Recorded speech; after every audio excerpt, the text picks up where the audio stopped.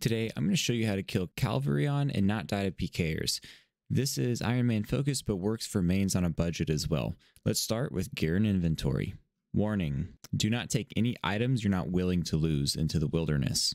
This is the gear and inventory that I personally used to learn and it seemed to be adequate.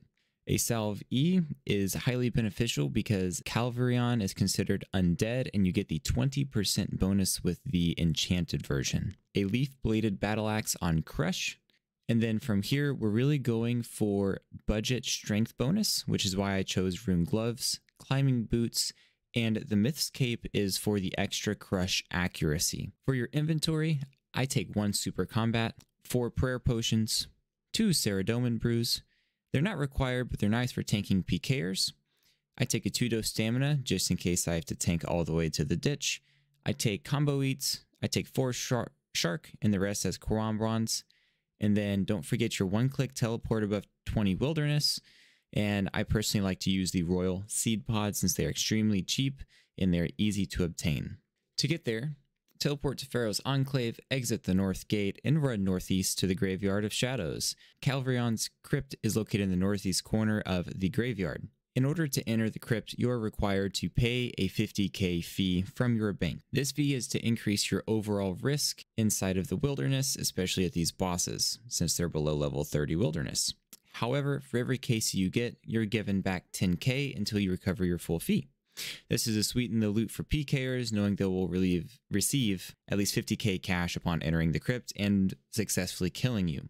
There is a peek option if you right click the crypt entrance. However, this is only unlocked after receiving 20 kill count at Calvarion.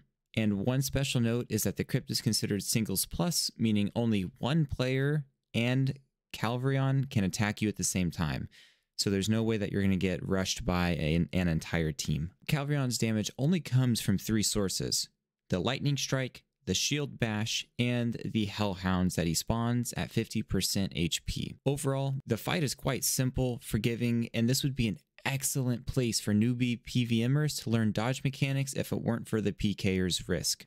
Calvarion has two forms, blue and gold. The fight will always start with the blue form, and each of the forms are the exact same, except for two things. The gold phase has a slightly increased attack speed, and it deals more damage whenever you mess up.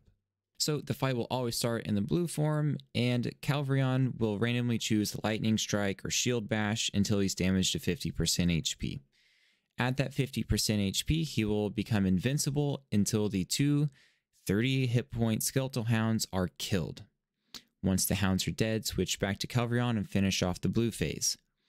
Once the blue's, blue phase is done, he will switch to gold and form a circle of lightning around himself. Stand underneath the boss until the animation is over. If you don't, you'll take anywhere from 0 to 30 damage. In the gold form, proceed just like with the blue phase, but keep in mind that he will attack slightly faster and his attacks will deal more damage if you mess up.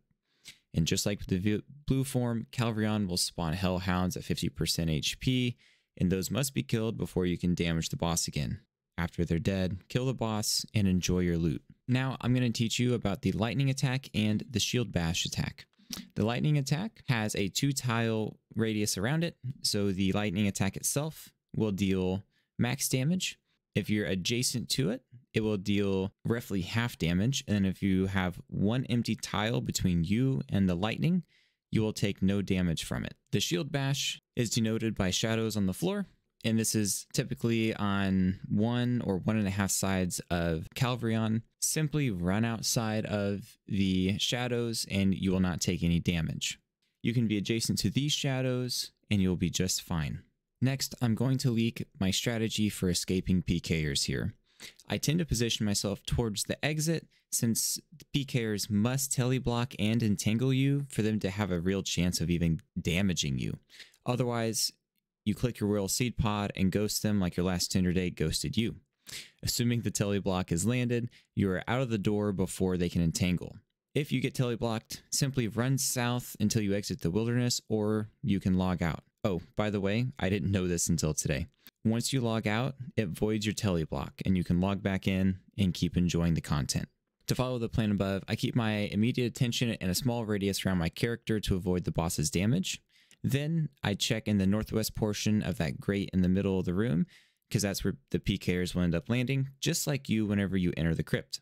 Overall, the loot seems to be pretty generous here, especially for Iron Men. You get blighted supplies, so you don't have to use your regular ones here. You get Herblore secondaries, dragon bones, and a reasonable chance at the dragon pickaxe. This is a far cry from the old bosses and finally seems to be a fair way for attentive players to obtain this in a reasonable amount of time.